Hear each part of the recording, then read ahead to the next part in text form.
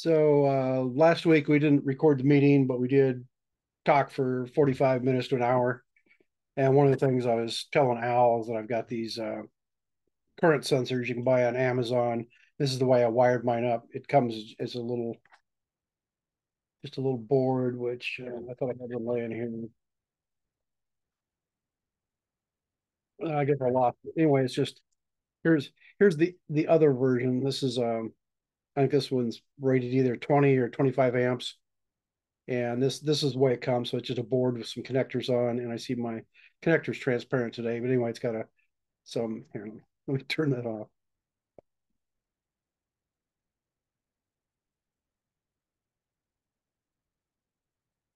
How do I do that? Do that? Turn it off. None. Okay, there we go. So it's a just a little board. It's got some screw terminals on it, and uh, it could be when it comes the screw terminals aren't soldered on. You could, but you can solder that onto your onto the board. And this just got pins at the other end to hook up your little jump rope leads. And this particular one, as, as I say, I think they're rated at 20 or 25 amps. But this particular part number, this is a GY712. I gotta say the trick was I have to do that. I have to get something behind it to get this to focus.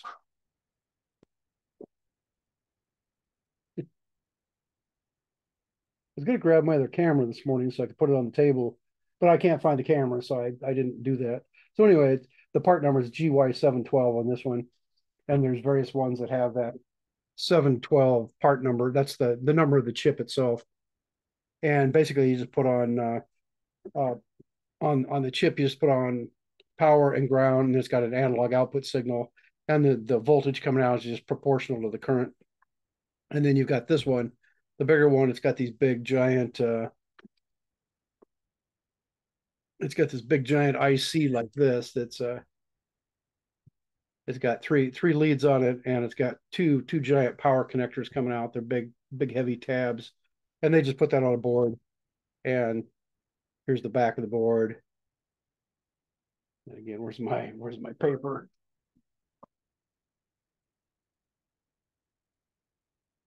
So on the back of the board, it just has, you can see the two big, where it says IP plus and IP minus. That's the, the two main power leads coming in. And it's uh, got some fairly hefty uh, traces on that. Somebody was saying that's only good for like 30 amps, even though the, the board's rated plus and minus 50 amps. And that SOIC chip on there, that's an op amp. They just buffer the output. So it, so it, uh, it it's a benefit if depending on what you hook it up to. And then on the top of the board, it just got the, uh, well, even this isn't going to work. so anyway, it's just got the big chip on the top, and then it's got the the four four leads coming off one end. So it's got your power and ground, and then the direct output from the chip and a buffered output from the chip. And the other thing is I found some heat shrink tubing that's clear heat shrink tubing, and so I quite convenient piece here. So it just it's just like a regular heat shrink tubing, but it's clear. So you can put that on. And I put several layers on here. So I put on, um, first of all, I put I put a, a strip on here, and then I put another strip up to to hold that on, and I put a big big one over the top of the whole thing. So if you get the kit that's got you know it's got like six or seven different sizes on, you can just cut the pieces and then heat shrink it on there.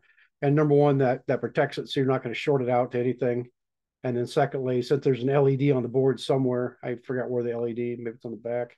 Anyway, there's an LED on there somewhere. And with the clear heat shrink tubing, that way you, you can see it.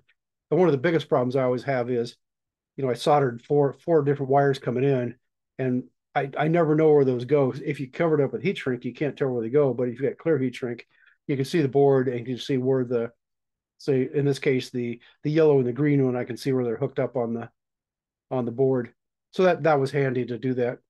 So I, I was I was pointing out that I I had done that, and that will measure. You can either measure AC or DC current with it because it just simply gives you whatever the instantaneous current is. So if you put in uh, AC, it it varies around your your zero point. So you you can use it for either if you want to. And another project I was working on, which has nothing to do with robots, but um, I was trying to try to figure out on my furnace trying to measure the current because I wanted to have a, a say a gas powered generator on the front yard or get a power inverter and either run it off a battery on the floor or other people put the power inverter in their car. Mm-hmm. So they just run an extension cord out. So you've got a instead of buying a generator, basically your your car engine and your inverter form a form a generator for you. And then it turns out you can buy these in order. I, I wanted to measure the current on my furnace to know what the startup current is, to know how big a generator I would need or how big an inverter I need. So you can buy these. Uh, I don't remember what I paid for this. This is I bought this years ago uh, when I was going to do a whole house power monitor. And basically, it's got a big enough lead in here. You can get that. That'll go around. I'd, I'd have to look and see to see if that fits on my my main cables coming in. I, I bought these and then I opened up my fuse box and it's just a little tiny fuse box, and there's not enough room in there to to put these on uh, on the main power leads coming in, and the power leads would be live because the only way to turn it off, you have to pull the power meter off the side of the house, and they've got a seal on that. So if you cut the seal and pull it off, then they accuse you of stealing power. So so I, I didn't get around to doing that and decided there wasn't room anyway. But this particular one is rated at 100 amps and 50 milliamps, which means if you push 100 amps, so you've got a single conductor here and you push that through a wire, well, my finger won't fit. So so basically, here's your main one of your two main phases coming in from the, the outside. So you clip this on there, and uh, whatever current's running through running running through this wire like this, it generates coming out the bottom. It's got the little uh, it just got a little a cable coming off with a little like headphone jack on the end of it. So it, it's so based on what it says there, it says uh, 100 amps at 50 milliamps, which means if I push 100 100 amps through the main cable, then this thing out here will generate a current of 50 milliamps. So in order to get, convert that into a voltage, you put a resistor across that, and then you get a voltage coming out of it. And I, I already had these, and I thought I could use them. But then I was looking on Amazon, and you can also get this one, which is it, it looks identical except the number here. The number here says 30 amps slash one volt. So what that means is if you're you got a wire that's got 30 amps going through it this way, going going through it this way, then the voltage coming off here or the coming out of here actually gives you a voltage. It's got a the built in what they call a burden burden resistor, and it's just simply a resistor across the coil. And if you, so, as you push current, as the thing pushes current through here, then the resistor converts that to a voltage. So theoretically, if I run 30 amps this way, I will get one volt AC coming off this connector here. So I got that and decided I could just go hook that up to my furnace and, and watch the watch it running and see what it's doing. And back when I started doing my whole house power system, I I got far enough. I took this proto board and put a bracket on it. But I've got two coaxial connectors and two headphone connectors and then also I've got picked up a little uh, wall wart that says uh, it's 12 volts at um, 12 volts AC is what it puts out. So you just plug it in an outlet, and I can get then 12 volts AC coming off the connector there. So that was that was one of the things that was going to plug into here, and then the uh, other one was take take one of these, and that plugs into one of the other connectors on there. And I had it set up. I I had it set up for dual channel because I was going to measure both phases of the power coming into my house. But when I decided I didn't have room to put those in, I didn't want to screw around with the power that was live. I gave up on that. So now I'm the point where if I just take that transformer, open my furnace and clip it on the hot lead, and then plug my little uh, transformer in the wall, I can get both the AC voltage and the AC current and just put it on my oscilloscope. So my oscilloscope, oscilloscope will show me what's going on, and it's a digital scope, so I can actually, you know, store a waveform. So I could say load it up and set the current trigger or set the trigger to be at about what the five amp level would be. And then as the furnace runs, as the main main blower comes on, it should capture, you know, give me a give me a startup waveform, looks like that.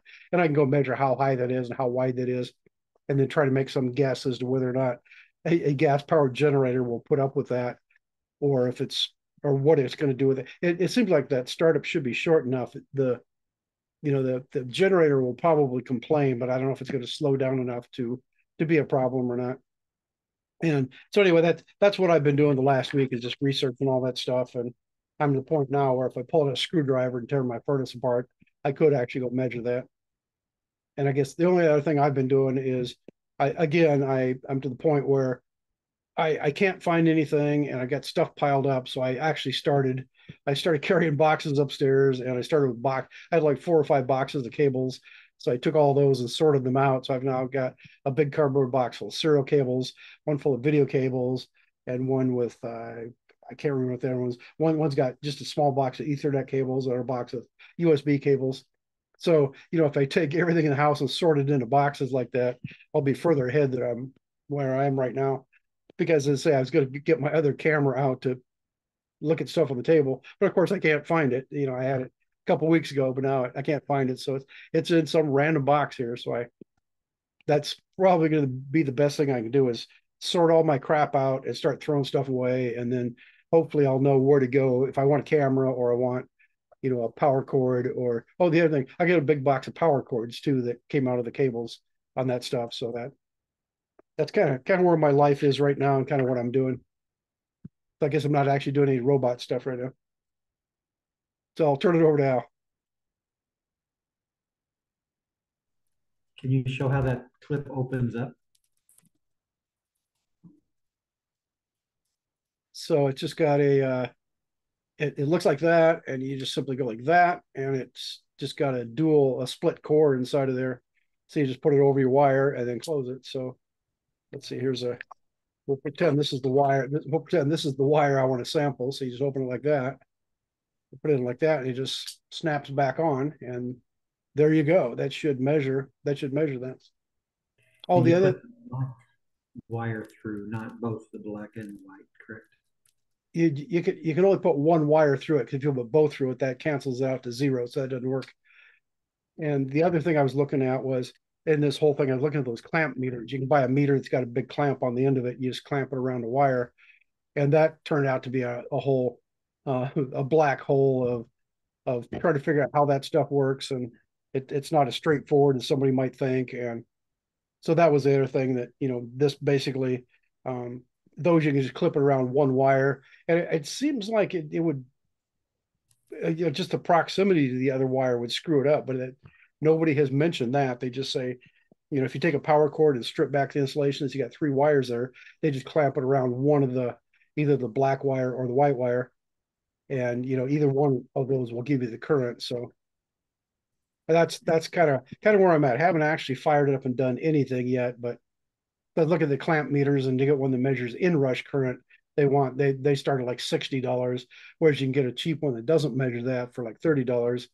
But and then somebody else will say, oh well, depending which one you buy, some of them the the inrush current will be reported in RMS or be reported in peak or it's going to average some stuff or it's going to do a max and a min.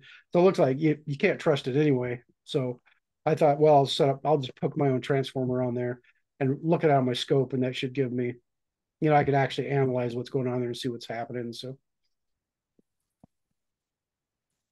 that's where that's at. Careful of those hot wires.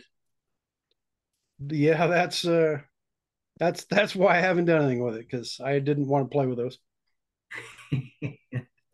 what's the nightly low in Minneapolis? I don't think you want to mess up your freezer, uh, your furnace. Uh, well, it's still getting below freezing. Yeah, that's something else that occurred to me is that I I got to be careful. And the other problem is since since I rent this place, if I blow up a fifteen hundred dollar furnace, they're they're going to be upset, and I'm going to have to pay for that. So that's another thing I have to be careful of is eh, trying to decide if that's worth worth doing or not. Anyway, on my side, let's turn on sharing here.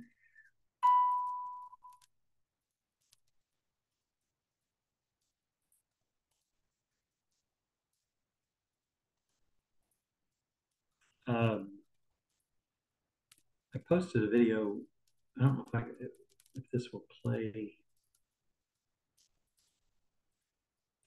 I downloaded it too, so bear with me. Let me just pull it off my download.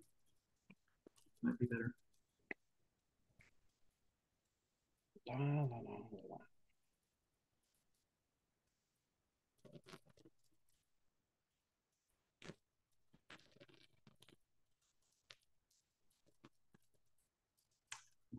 Well, I thought I downloaded it.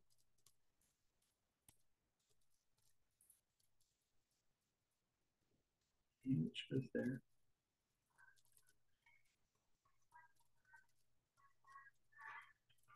Come on.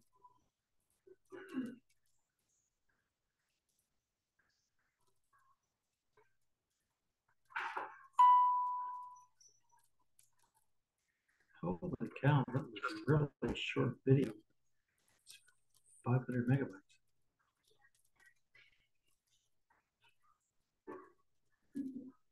I'm not getting any sound. Why is that?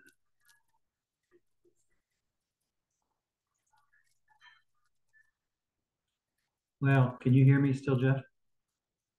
Yeah, I can hear you. And my my video is never the sound never comes through, but that's good because if you play a video, it's got uh, got a song on it, then YouTube jumps on you and threatens to kick you off for copyright violations. So I just leave mm-hmm. mine. I, I didn't bother to figure out how to get mine to play like that.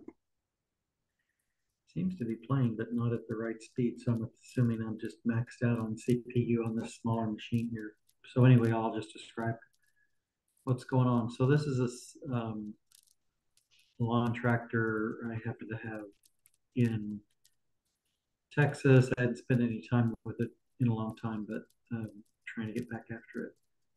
I've fabricated the video will repeat all this, but I fabricated a couple of um, actually four 18 inch, one and a, I think one and a half inch by 3 16 strips.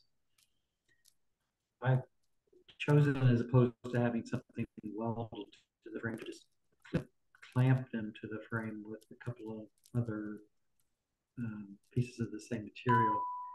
And the notion is I'm going to put my electronics board here, and then I've got another set to put on the other side um, to do the same thing. I'm sure that'll give me plenty of real estate, so I might um, put the lithium battery on the other side and put the other electronics on this side. I can see the video is going to bounce around here a little bit. Um, let's see, can I fast forward? Oh, here, we'll pause it here. And so in addition, ah, I pressed pause. yeah, that's what you get when you have a slow computer.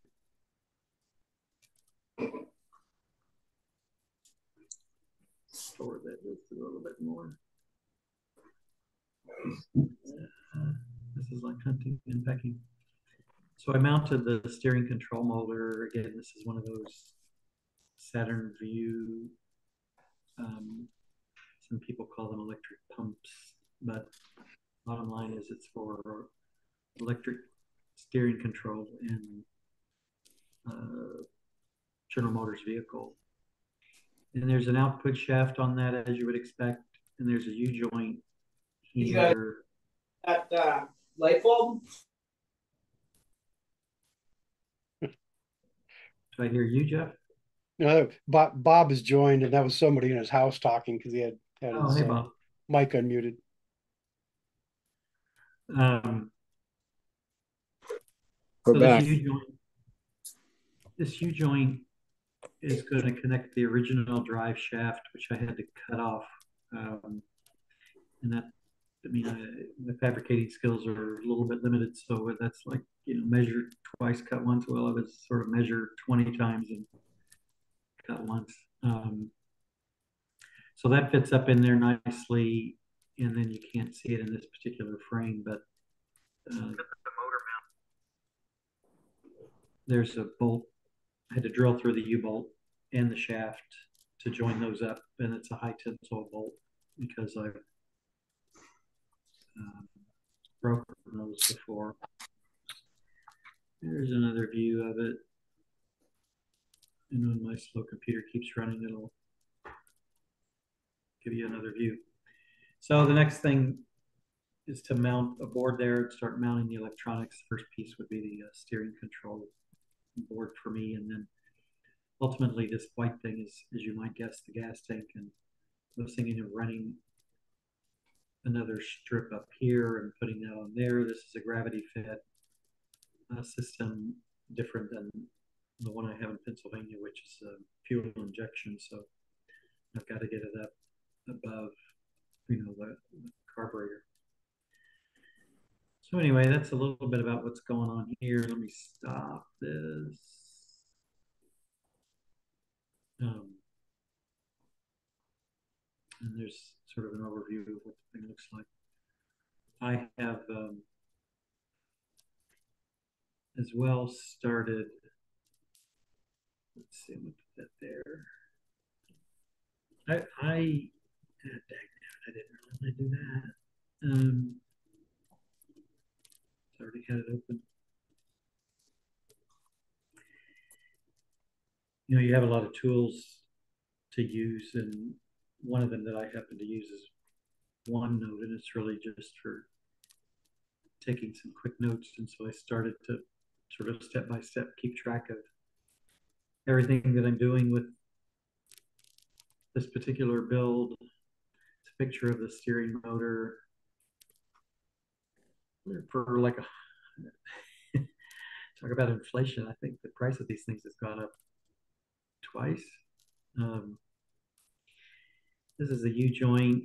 There's a spline on one end, and it's smooth on the other to get the original steering shaft. It's made by this company, Sweet Manufacturing, in Kalamazoo. Uh, that's about 50 or 60 dollars and then this is a picture of the motor mount without the motor there just the shaft there and I ended up cutting it to 99 millimeters give me a little bit of flex in the U joint which is useful but it's really um, yeah that you screw that cut up you buy another steering shaft the long bolt to connect the steering motor to the motor mount, the high tensile bolt. McMaster car is wonderful, or McMaster. Uh, that's the only notes that I've gotten so far. So that's where I'm at. I haven't gotten a reply back uh, on my GPS issue. My uh, older ComNav GPS sent a note requesting some help was Chinese New Year, hadn't heard back, still haven't heard back. So I pestered them again. We'll see, uh, see if they ever reply. That's what's going on here.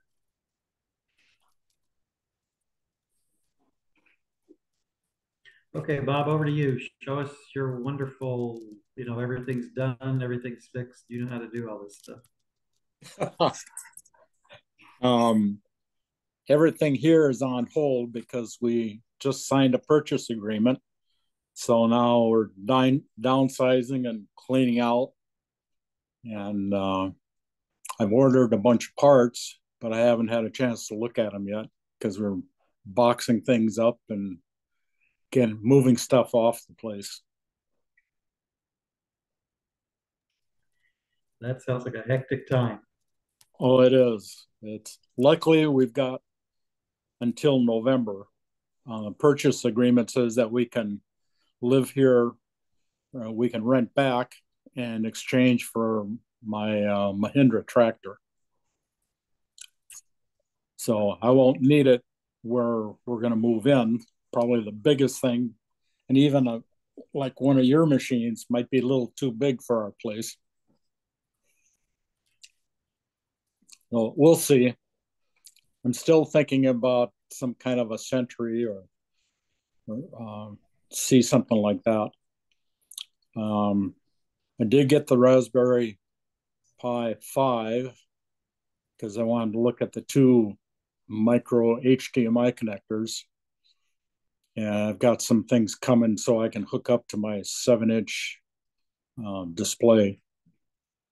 Um, but that's about it. Haven't haven't had a chance to do anything actually, just cleaning stuff out. Found a guy that'll take scrap iron, so we'll get get rid of a lot of stuff. But that's where I'm at.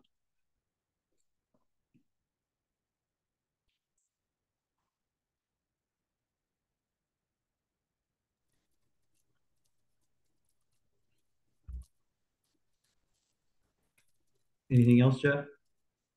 Um, nothing that needs, needs to be recorded, I guess. Mm-hmm.